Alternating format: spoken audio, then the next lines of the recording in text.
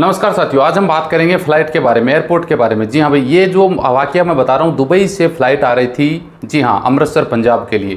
Flight पहले से ही दो घंटे लेट थी, जो रात को उतरना था। लगभग सुबह के टाइम ये फ़्लाइट पहुँची दो घंटे लेट। और लेट पहुँचने के बाद में पहली बात तो कस्टमर बेचारे वहाँ परेशान हुए। होने के बाद भी वहाँ पे पहुँच गए। पहुँचने के बाद में जो अपना लगेज बेल्ट है, वहाँ पर जाते हैं तो लगभग पचास लोगों का सामान मिसिंग था, यानी सामान गायब था, सामान उनको नहीं मिला। जी हाँ। अब इस पर क्या प्रतिक्रिया आपकी होनी चाहिए? क्योंकि आप लोग भाई हर दिन किसी न किसी देश में जाते रहते हैं या आते भी रहते हैं। आपका दो साल से आ रहे हैं, आपका मेहनत की गाड़ी, कमाई का सामान, और वो अचानक से आपको पता लगे गुम हो गए। आपकी तो बैंड बच जानी है, सोचने की बात है ना। हालाँकि उनके लिए वो कुछ नहीं है, लेकिन आपके लिए तो बहुत बड़ा सामान है। तो ऐसी स्थिति में ये जो पचास लोग थे, सब के सब लोगों का सामान गायब हो गया था, उनको सामान नहीं मिल पा रहा था। जी हाँ काफ़ी समय तक वेट किया, फिर एयरलाइन से संपर्क करते हैं तो वो बोलती है कि ग्राउंड स्टाफ से संपर्क करो। पचास लोगों के ऊपर मात्र तीन ग्राउंड स्टाफ, यानी स्टाफ की भी एक कमी थी, स्पाइस जेट की फ़्लाइट थी।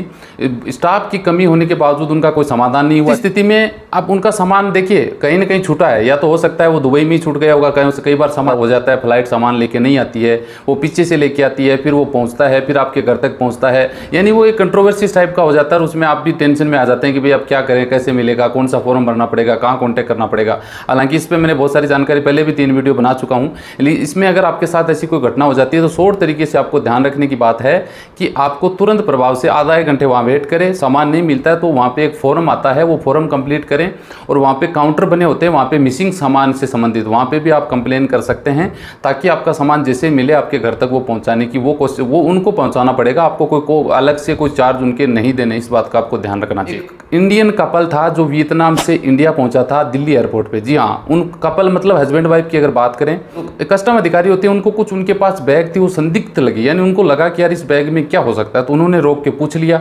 उनको अधिकार है भैया वो उनको लगता है तो वो रोक के आपसे पूछता सामान की तलाशी ले सकते हैं आप उनको मना नहीं कर सकते।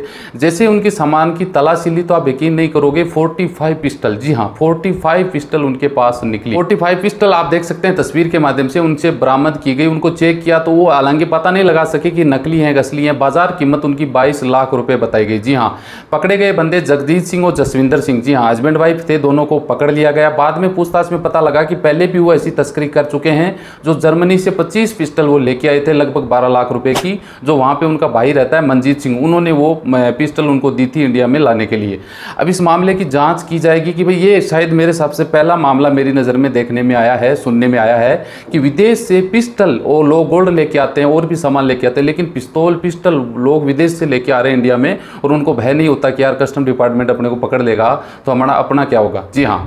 तो इन चीज़ों में आपको भी कहीं ना कहीं कोई लालच अगर देता है या बोलता है कि ये नकली पिस्टल हैं, आप लेके चले जाओ तो परेशानी में पड़ सकते हैं, ऐसी गलती आपको बिल्कुल नहीं करनी चाहिए। सावधानी बरतने की ज़रूरत है, वरना आप ये असली पिस्टल हैं तो ये लंबे समय तक जेल में रहेंगे नो डाउट जी हाँ अवैध हथियार तस्करी का मामला लगेगा। संजय दत्त को भी पाँच साल की सज़ा हुई थी, आप सबको पता है। आम आदमी को तो उससे डबल सज़ा होती है समझ लीजिए। दूसरी बात, पुख्ता सबूत ये बन जाता है कि इन्होंने अपनी जो कबूल कर लिया कि हम तुर्की से भी 12 लाख रुपए की पिस्टल लेके आए थे, हम तस्करी पे पहले भी कर चुके हैं। इसका मतलब 100 परसेंट ये ओरिजिनल तस्करी हो सकती है तो इनके खिलाफ में कड़ी कार्रवाई की जाएगी।